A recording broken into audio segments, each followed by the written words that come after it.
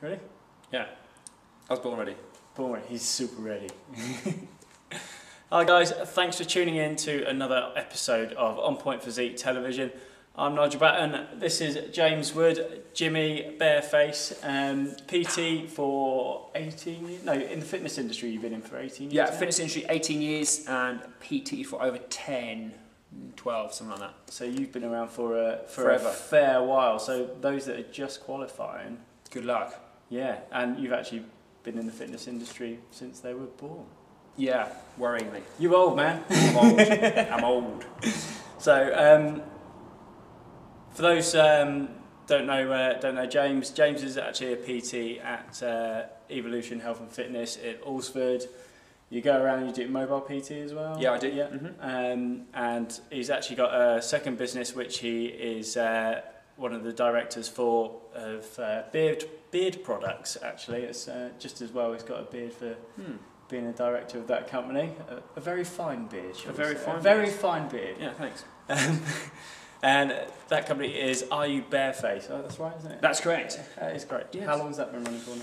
Three years. Yeah, it's a labour of love. Yeah, it's a labour of love, but you know, it's yeah, it's it's good. So you are a very, very busy man. A very busy man. A very busy Yes, man. I've time is time is Now- minimal. One of the reasons I've got James on the uh, web series is I've seen face to face. I've seen it as he's doing it, all his PT of all his clients, and this guy is phenomenal with every single one. Oh, thanks, much. Even even those that don't listen to you. Even those that don't listen, and there's a lot that don't listen. There's a lot that don't There's a lot. Um, so, basically, if you can give us a little bit of a story of or background as to uh, how you actually got into the fitness industry in the in the first place.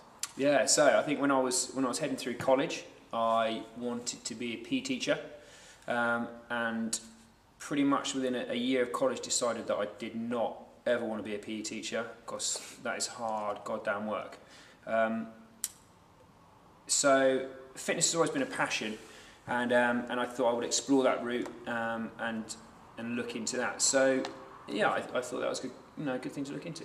Oh, happy day! So, Yeah. from college, did you do your, your PT qualification after leaving college, or did you do that? No, so I did. I did. Um, I did my college. I did my human biology, uh, Yeah. sports science college. I went to university. Uh, I did my sports science degree with honours, um, and then I came out. I did my um, personal training certificate after that, um, and then numerous certificates. Just yeah, Loads of accreditation certificates Yeah. since then. Yeah. Happy days. lots. Lots and lots, Mm. like jelly tots. Yes. Yes, Quite. yes. Um, so, along the sort of 18 years, so did you start off you going to um, gym gym work? I know you were Yeah, a gym so- manager at one point. Yeah, so I went straight into gym. I got headhunted from uni, um, strangely, to come back to a local gym um, and be the assistant manager because I had a position open. And I'd done bits and bobs work. I'd sort of been in and, and done some shifts and helped. Um, so that was really nice. So I went straight from uni into work. that's, uh, that's which- always good. Yeah, which was really cool. Um, and worked with a few really interesting people there. Um, started to also do sideline work for a, a company called Intelligent Fitness. Um, so we would we we delivered workshops to trainers Okay. around the country, uh, numerous different workshops, numerous different- topics, for quite a few years. Um, and then I went, I took over management of the gym, um, which I had a fantastic, pretty much, This gym here. Yeah, the- pretty much this one here, uh, and I had a fantastic seven years. Um, then redundancy loomed, and so almost immediately I, um, I cracked on and started my own business. So I finished my last shift of management at five o'clock on a, I think it was a Wednesday. I walked off the site, took a big deep breath in, walked straight back in, had my first client, and uh, I haven't stopped since. That's uh, that's not bad. So was it the the redundancy that sort of forced the issue to because you went self-employed pretty much straight Yeah. out of Yeah, straight out. after gym management. Yeah. Um, so that coming along, that was what sort of like forced your hand. to Yeah, I'd been. I'd been thinking about it for quite a long time. Yeah. Probably, I don't know, maybe a year, two years, and it was always, and I and I was doing some personal training whilst managing, and it was always a case of, oh, do I go for it? Do I jump? Don't I? You know, I've got a safe wage. I know my hours. Is there going to be enough business? And then the decision was taken out of my hands. And actually, it was the best thing that could have happened um, for me at the time. Yeah, so That's good. And I say, uh, I'll mention it on camera loads of times, but say that one of the reasons that I set up this series was to to help those guys um, getting their qualifications and jump. You know, they're going to make that decision. Do I go self-employed? Do I do I go into sort of fitness instructing and build my knowledge 1st Mhm. And there, there's a massive arguments with sort of both sides. Um, but I say you obviously had that that hand forced you after being in the industry for Yeah, I was. I mean, I was. years first. Yeah, I was on the shop floor in the gym industry for yeah eight odd years. So you know, from you literally down to cleaning the machines, you know, right through to All managing. the dirty jobs. Yeah. So and you've got to, you've got to do that. In my mind, you've got to do that. yeah. Start So, from the bottom and work your way up. So you know the industry inside out. yeah. So absolutely, definitely spend the time. Yeah. Learning. Learn your trade. Um, and I say I was in a very similar situation to you. My hand got forced. I went self-employed route straight away um, from a from a change of job as well. Um, sometimes that hand gets forced, and you have to make that jump. But I think the ideal situation for a, a lot of people is if you can get a foot in the door in a gym in in part of the industry. Spend that time learning. Um, I think a lot of people sort of finish their personal training qualification and think, right, I know how to train someone. That's it. I'm good to go, and I can do everything. But it's uh, Yeah, experience is a huge thing, and you know you can't buy experience. So if you if you spend time working on the shop floor, you will work with you know all sorts of different people, different ages, abilities, injuries, um, medical conditions, um, goals, um, you know, all the tiny nuances that if you if you don't spend time learning and building that experience, you know it's something that you you don't get and you and you never really get. yeah, So to jump straight in, head first PT in, um, I think you, know you can show really quickly where you're lacking the knowledge. yeah. Especially those developing those business skills. That's Yeah. something you'll definitely develop. Um, you'll learn how to talk to people, how to how to effectively sell yourself as well. Um, Yeah. Which I think is like is one of the massive massive things sort of missing. So if you, you're walking up to someone in the gym and saying, "Fancy PT, fancy PT, fancy PT," a lot of them are just going to say no. Yeah, Um, I think for me certainly, in, in also in terms of evolving your business, I think a good way to start is if you if you are working in a gym on a shop floor, if you look to take on and deliver a fitness class, you know, weekly or twice weekly fitness class, build up a good client base, um, and that in itself is quite a nice way to introduce yourself and your personality and your training style to people, numerous people, yeah. um, you know, and that typically will lend itself well for you making contact and actually people start asking you, oh, you know, do you do PT and can I, Yeah. you know, can you spend an hour with me? Absolutely. I think um, for people that have struggled talking uh, in large groups, it's a massive, massive way of, uh, of building your confidence talking to uh, to complete strangers in large quantities um, and effectively, yeah, selling yourself through doing the classes. So Yeah. build your confidence up, develop those uh, those communication skills, massive ones, because um, it's it's constantly met, like it's a message that constantly comes across through the industry. People buy into people Yeah, and they really do. Um, so I, I think they're the skills. absolutely. And I, think, especially I, I've seen over the past probably two years, um, with the with the rise in social media and Instagram, etc., etc., with some with some of the newly qualified PTs or gym staff coming through, I think because everybody nowadays is used to um, communicating behind a screen to a screen Yeah. to people.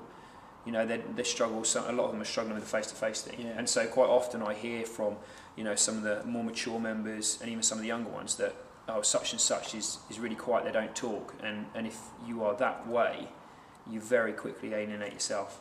you Yeah, know. so absolutely. it's important to, to learn those communication skills face to face. Yeah, I, I think you're, I say with this gym in particular, I think you're quite lucky because you, with the, there's not that many members in this gym, so I'll just let you know that first. But James is the only PT in the gym, um, but with the number of members we got, I mean, having two would would make it not a place for a personal trainer to come essentially. Yeah. Um, and that's another thing you sort of need to bear in mind when you're picking the gym that you're going to go and work in for the first time. Um, some gyms out there are going to flood those floors with up to 10 personal trainers. Um, have a look at the number of members in that gym um, and really think about am I going to be able to uh, to get the clients through the door with nine other PTs um, operating around me. Um, I say yourself, only one here, so you've got no one to compete with. But again, I think we do quite well here. Previous managers before me have always said it's just one PT as well. Um, Yeah. So bear that in mind when you're going out, starting fresh. Research the gym that you go into. Um, I think that's something that's massively important. Yeah, it is. It's huge, but you know, and I've and I've trained in numerous gyms, and I've when I when we've delivered these fitness courses, we have worked in numerous gyms with large groups of PTs, and, and I think that you know one of the common trends that I seem to have picked up on over the years is that um, some of the bigger gyms that have you know huge membership bases, but like you say, flood the floor with PTs. You know, all of a sudden your skills potentially diluted. Um, then you've got to think about can is there enough sustainable business for me? You know, um, and the turnover of PTs in large gyms can be pretty quick. Um, and what makes you stand out? What makes you different? Why are people going to come to you as opposed to go to the next person or the next person? Yeah. So yeah, you have to you know you have to carve out a carve out a niche for yourself. As Yeah, well. I think um, so. Seeing a lot of your clients come through the door, you've got actually quite a wide range of, uh, of client base. So you, you've got the older generation. You've got uh, I mean, there's there's young lads and girls come up to you and ask you for advice as well. yeah. So I mean, your demographic is actually really wide. Yeah, it's huge. From, from sort of 16, 16, 15, 16 year old rugby kids, um, some kids that are um, sort of younger than that but disaffected, don't communicate very well within school, um, don't participate well, right through to, um, you know, sort of single mums, um, parents, husbands, wives, um, and then right through to uh, a couple that I see in their home that are just about 90 Yeah. you know so a whole lot all with different goals and different needs you know and you have to just have a different head for every single one of them and understand them and understand their goals and their needs and you know and, and be really sort of fluid in terms of how you can train those people and and and listen. You need to listen. Listening is the key. Yeah absolutely. I think you hit a really big point there which i was i was hoping would come across is that different people you're going to have to speak to them slightly different ways. Yeah. Um particularly older generation call them your blood or say showing them, your, showing them your latest Instagram post isn't going to wash with someone who's in their 60s because no they don't get it they don't get it. and Um, I'm- and I'm not interested no, absolutely not. Absolutely not. yeah Um, so, I mean, we, we talked about like the sort of things you need to think about and bear in mind along the way. Are there any sort of like um, things that have popped up? You're like, yeah, you really shouldn't be doing that as a new PT. I mean, not necessarily you've done yourself, but you've also seen along the way that, that people are doing. Uh, th- yeah, sometimes I think it's I think it's the speed at which people jump into the industry, do a short qualification, really short qualification, having had no real experience in the industry other than training themselves, um, and then delivering information that essentially is, you know, the fabled bro science that we'll talk about. You know, I tried this and it worked, or oh, someone told me this and, and it works, so I'm going to try it with my client. You know, you've always got to make sure that the information you're given is, is correct and you can, um, you know, you can back up with science. You've got to make sure that the training you are delivering is safe and effective. And I think often people forget the safe bit. Um, and you know, you need to be able to look at fads, current fitness fads or current trends, and dissect them and and use your own brain to think. Hang on, you know, what is this going to do? Is this a safe thing to, to get my clients to be doing? And is it is it is it going to get their you know achieve their goals? Does my ninety year old, you know, want to be doing some sort of crazy dieting and, and have a, a six pack? Probably not. Not these told me. Probably not. Not these told me. So yeah, it's um, it, it's taking time and taking time and spending time learning, learning the industry, get the knowledge, background read all the time, keep learning all the time, and, and deliver information that is that works and is safe. And sometimes it's not always the jazziest, glitziest stuff, um, Yeah. but basics works. And Basics- Basics have been around for years work. and years, and Yeah. that's why they've stayed. Is because they work. yeah, Um, not saying it doesn't have to be fun. It can be Yeah. fun, you know, and that's how you deliver it. But you can still be safe without, you know, without adding in crazy, random exercise. Absolutely, absolutely. Um, so, bareface, we'll uh, we'll touch on that. Touch on it. We'll touch on the bare. The bare it's a good bit. It's a good bit. It's like a chinchilla. Um, So that's been going. So three year, three years, I think. Yeah, three years. Yeah. Um, Yeah. So how did Bareface come about? Because obviously you got a PT business that's working, uh, Yeah. bringing money and paying the bills. Mm. Um, so obviously you, you're training, you're PTing. Yeah. Um, what was the thought process, or what? How did What Bareface happened? come about? How did you suddenly decide? Okay, there's a second job. I'm going to do a second job. Yeah, stupidity. I think. I think generally what happened was, and, and this is this is the genuine story. So we were. This is so. This is going back three years ago. Uh, my brother and I were going to enter a Spartan race, um, which are great, by the way. Good obstacle course races. Um, and we thought, well, I know we'll we'll go the whole hog. We'll we'll grow the beard thing. We'll do the whole Spartan-esque type thing, and, and make it a bit, you know, do it for charity. Make it a bit of an adventure. Yeah. Anyway, we started growing beards, and um, and they were dry and itchy, and they weren't they, didn't, they weren't great to be honest. So then I think uh, my girlfriend started looking at whether she could find anything to make them less scratchy and horrible.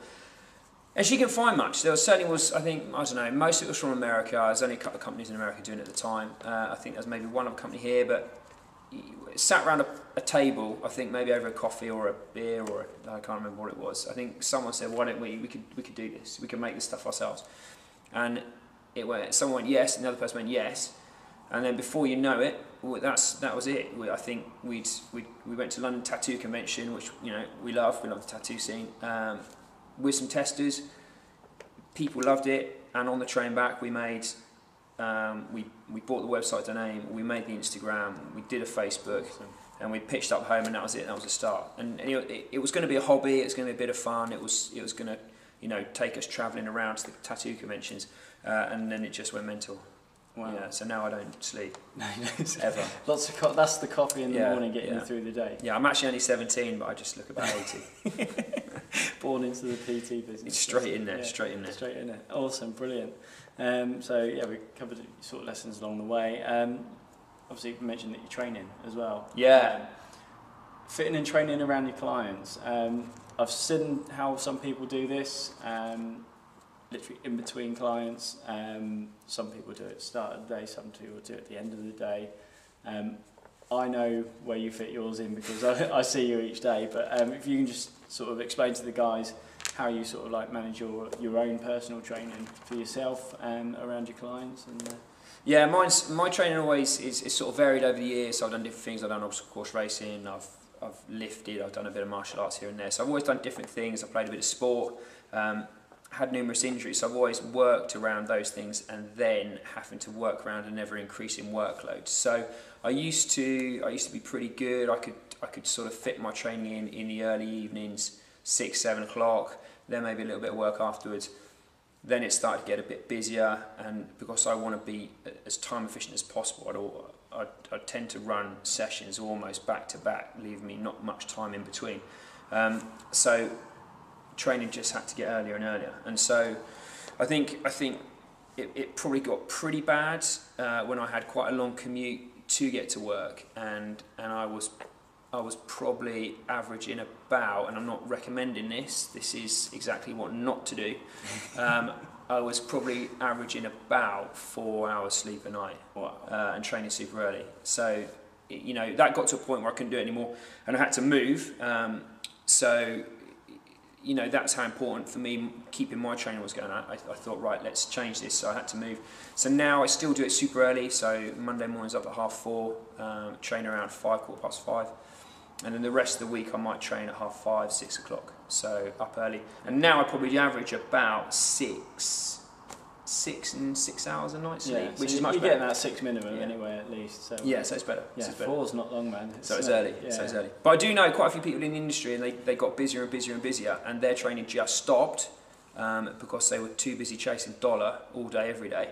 And um, not looking after their own health. yeah, and their fitness went downhill rapidly. You know, and there they are delivering you know fitness lessons and, and sessions to people, whilst their fitness was just rapidly going downhill.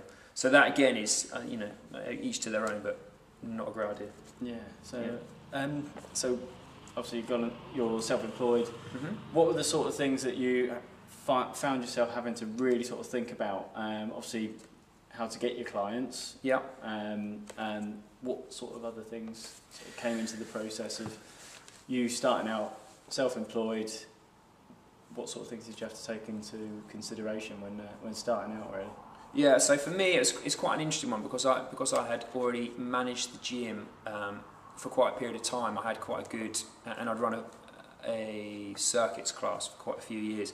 So I already had um, a good reputation amongst members. So when I I'd started doing some PTing when I was still managing, I had about two or three clients. Then when I went totally self-employed, um, I advertised in some local press.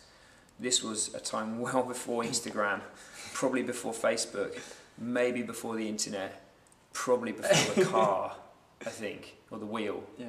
Um, I heard a rumor that one of your first clients was actually Chuck Norris. It could have been Chuck Norris. what? Um, no, so I advertised in some local media and some local publications. Um, small ads, half page ads, just letting people know who I was, where I was, what I did. And I only advertised for the first six months of my business. And within six months, I was busy enough that I, I just stopped advertising. And I haven't advertised now for, well, the rest, seven and a half years. Seven and a half, eight years, yeah. And I, and I you know, I don't, I haven't Instagrammed and I haven't, I don't have a website. So luckily, you know, old school. yeah, it is old school. I mean, my- reputation. PT. yeah, it is. You know, it's word of mouth reputation, and um, and I've always, you know, and I've always kept a, f- a fairly steady client base, um, and quite uniquely, I'm a PT that that has had some clients for a really long time. I think my longest client I've had now, and still see regularly, is 13 years. That's a long time. That's, It is, yeah. I think it's it's 13 years, and then after that, it's I think 11 years and seven, and you know, so most of my clients are you know sort of long-term yeah, clients, really and then I do have clients. yeah, I do have a turnaround of you know a few clients here and there short term, but and that's important. I think a lot of PTs that come through the industry now end up sort of it's a short game, so end up with maybe if they're lucky a client for you know it might be a couple of sessions or six weeks or six months, and then they tend to you know those clients drift away, and it's trying to work out why they're drifting away. What is Yeah. it you're you know what is it they're not getting that is making them leave?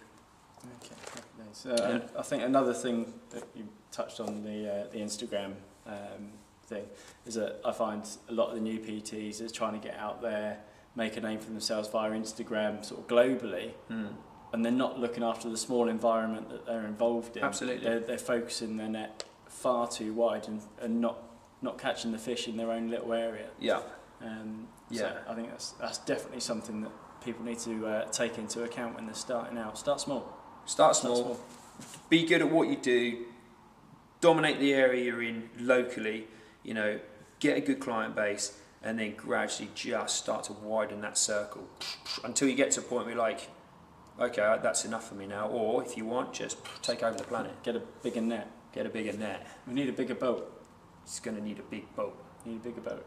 And if you're old enough to remember that quote, big fish. you're about our age.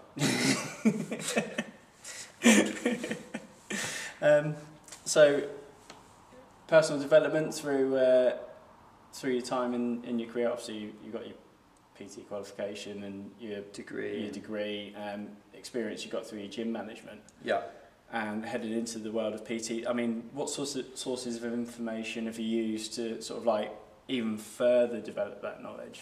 Um, so always looking at courses, um, always reading books, reading literature. Um, the the guy I used to work with um, when we used to do deliver the workshops, he's a full time researcher, so we spend a lot of time chatting, um, chewing over sort of the most up to date research, which is is always quite interesting, and just discussing the industry as a whole really, um, and and how it's changed over the years. Um, so, you know, trying to keep my finger on the button, on the pulse, On the pulse. We Yeah. like- We like on the pulse. on the pulse. On the pulse. Mm. So, um, um, books wise, Books wise, so this this is my he's come prepared. I have come prepared, and That's only good. only because every time I talk to I've seen you know talked to a lot of PTs that have been in the industry for a while, um, and I always ask them. I say, oh, you know, have you heard of the such and such? They're like, no. What is this you talk of? And it always shocks me. It always shocks me. It's it's dead simple. It's dead simple. It's this. ACSM guidelines, to exercise testing and prescription. It's dead simple. It's as an industry, we take our guidelines from, should be taking our guidelines from the American College of Sports Medicine, ACSM. Um, and this book is fantastic. It will talk you through how to exercise test, special populations with exercise testing, all the relevant PAR-Qs, the um, the weekly, daily requirements in terms of exercise intensity, type, time, duration, rest periods, the whole shebang. It, I mean, if you are, this is this goes back to talking about delivering safe and effective Yeah. exercise.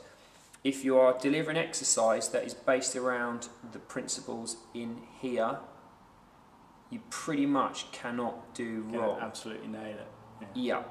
And heaven forbid, if ever anything happened, if you injured somebody and they decided they were going to take you to a court of law and they were going to sue you um, for negligence, A, you're obviously going to have your um, insurance.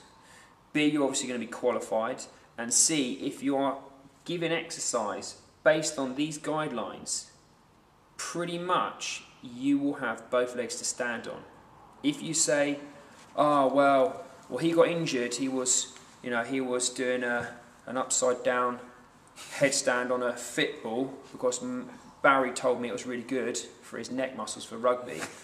then you, you literally you're going downtown. You're in trouble. Yeah. Bad. And Again, it Bad comes, trouble. comes back to the thing of thinking about with your PT clients. Be safe. If you don't know what you're doing, don't do it. Don't do it. Don't do it. Yeah, and I think you know a lot of it. A lot of it we talk about. Um, you know, egos nowadays. It's quite. I say nowadays. It's always. It's always been industry. It's, it's one of those industries where sadly, you can get a lot of ego, um, and whether it be with your clients that want to lift more than they can lift, or they want to run further than they can run, whatever it might be, or whether it's within a PT versus another PT. You know, oh, you know, I'm I'm better than this guy. I can do more fancy things. I can lift more. You know, it's it's. Don't worry about ego. Just deliver good exercise that your clients enjoy. Listen to them, understand them. More often than not, if a client comes in, generally speaking, a lot of them will feel pretty crappy. They've probably got a ton on their plate. Work will be crap. Home life might be difficult. They're probably tired. They're irritable. They ate crap at the weekend. They hate life. And that's how they walk in. And if they can walk out at the end of your session and they are happy as a pig in muck, then they will keep coming back and keep coming back. So a lot of it is, is you know, you know, the exercise is just one tiny portion of what you guys need to be thinking about. You need to be a, you need to be like a coach, a counsellor, a friend, a confidant. So many things, yeah. The whole And- lot. And I think it's um, it, developing those relationships with your clients as well is massively important. yeah, Um, uh, some people you hit it off straight away, um, and they're and they're fantastic. They're the ones that sort of stick around. Um, those those clients, you know, relationships have to be worked out. I Yeah. mean, I think every PT out there has had that client where it's it's not been alright, and then that one thing happens in the in the training, whether it be that they suddenly see they've lost a lot more weight than they thought they had. They come back, and then they start. You start developing that sort of that trust relationship. Yeah. Um, it's another thing is is earning that trust with your clients, keeping it, and uh, keeping it is the big thing. Is the moment you try and rip your clients off or or lie to them about something that's happening, be open, honest with your clients because they'll respect that. If you've got to move an appointment Yeah. with, with one of your clients because you've double booked, tell them, okay, look, I'm sorry, double booked. Um, don't make up a naff excuse because they tend to come out and they come out really off. If you're like me, crap at lying. I am, I am horrendous. yeah. Just be straight up. Yeah, just be straight up. Um, I, I'm one of those guys. I think I've been caught out, and I, I tried it when I was younger. I was tried tried uh, tried throwing it the uh, other direction to make it look as if it wasn't me, but um, every time the worst poker face in the world. So if you ever want to take money off me, play poker, um, and it's yours. I might as well just hand it to you. So um, yeah, be upfront, be honest with your clients, develop that relationship, develop that trust, and bloody keep it because those people that you earn it with are, are going to stick around. Yeah. If I would, if I were coming into the industry now, I would be brave. um, it's, it's, a, it's, a hard, it's a hard time now. It's a really hard time. I think one of the worst things is, is I think the industry is now awash with um, people that, because they go to gyms and they have trained themselves, they naturally assume oh, I'm going to PT. This is going to be. I, I like exercise. I can tell people how to exercise, and that's going to be a really great job.